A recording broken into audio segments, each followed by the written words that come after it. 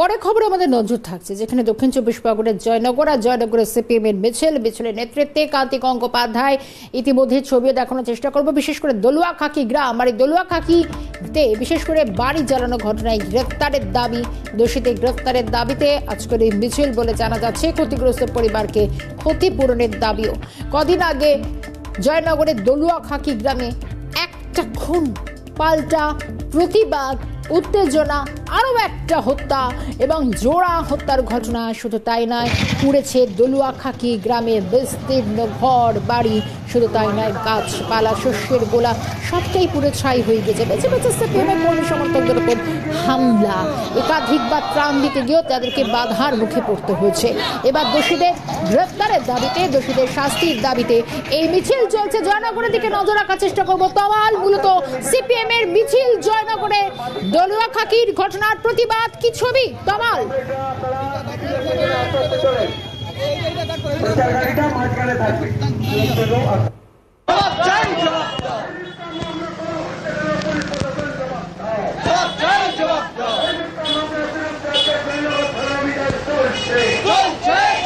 একদমই তাই। আমি এই মুহূর্তে দেখাচ্ছি, বুড়োর ঘাট থেকে যে মিছিলটা শুরু হয়েছে সিপিএম এর পক্ষ থেকে তিন তিনটে মিছিল আজকে বার করা হয়েছে।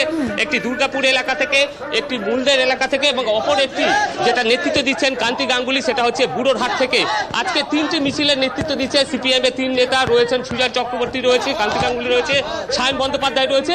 তোমাকে আমি দেখাবো যে দলুয়া খাকিতে যে বাড়িঘরদর পুড়িয়ে দেওয়া হয়েছে, সেই তাদেরই যেসব দুষ্কৃতীরা এই কাজকর্ম করেছে, তাদের গ্রেপ্তার শাস্তি দাবি এবং অবশ্যই যেসব বাড়ি ঘরদর ভাঙচুর হয়েছে, লুটপাট হয়েছে, সেই বাড়ি ঘরদরকে আগের অবস্থায় ফিরিয়ে দিতে হবে। তাদের সারাবার দায়িত্ব প্রশাসনকে নিতে হবে। সেই দাবিতেই আজকের মিছিল। কথা হলো কান্তি গাঙ্গুলির সঙ্গে।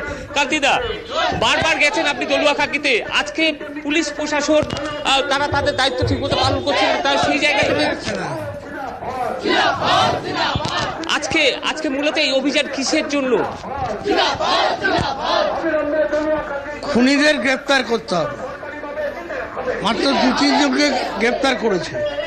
যারা ঘর বাড়ি জ্বালিয়েছে লুট করেছে চল্লিশ জনের নামে এফআইআর আর ঘটাপ করে তিনজনকে গ্রেপ্তার করেছে বাকিদের গ্রেপ্তার করেনি।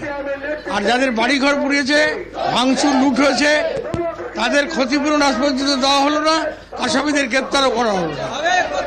পুলিশ তো সুমোটা কেস করেছে আপনাদের এফআইআর নিয়েছে পুলিশ? অভিযোগ নিয়েছে? অভিযোগ আমাদের নিয়েছে কিন্তু অভিযোগ জানালে পদক্ষেপ কি নিয়েছে? তারপর আগুন যখন বাড়িতে জ্বলছে, দমকল গেল, এক ঘণ্টা আটকে দিল। যারা দমকলকে যেতে দেয়নি, তাদেরও কোনো গ্রেপ্তার করা হচ্ছে না। খুনিদের শাস্তি চাই। আর দলীয়খালীতে যাদের বাড়িঘর পুড়ে গেছে, লুটপাট হয়েছে তাদের সরকারকে ক্ষতিপূরণ দিতে হবে। ফিরহাদ ববি হাকিম গতকাল এসেছিল তিনি বলেছেন গুটি কয়েক বাড়ি ভাঙচুর হয়েছে কটা টালি কটা বাস তাও নাকি সিপিএম করেছে।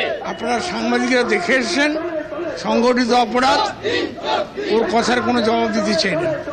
বিধায়ক বিভাস সর্দার বলেছে আগামী লোকসভা ভোটের সময় ওই এলাকায় কোনো সিপিএম এর লাল ঝান্ডা ওখানে থাকবে না। কারও বাপের ক্ষমতা নেই লাল ঝান্ডাকে নিশ্চিত করে হিটলার মুসলিনিও পারে ওদেরও বাপের ক্ষমতা নেই আজকে কি এই তিনটে মিছিল? মিছিলের উদ্দেশ্যটা কি প্রশাসনের উপর চাপ তৈরি করা? করেছি তো। প্রশাসন নিরপেক্ষ থাকতে হবে, দোষীদের শাস্তি দিতে হবে, ক্ষতিপূরণ দিতে হবে। দেখো শর্মিষ্ঠা যে দাবিগুলো যেটা পরিষ্কার করে কান্তি গাঙ্গুলি জানালেন সিপিএম নেতা যে তাদের যে দাবিগুলো স্পষ্ট।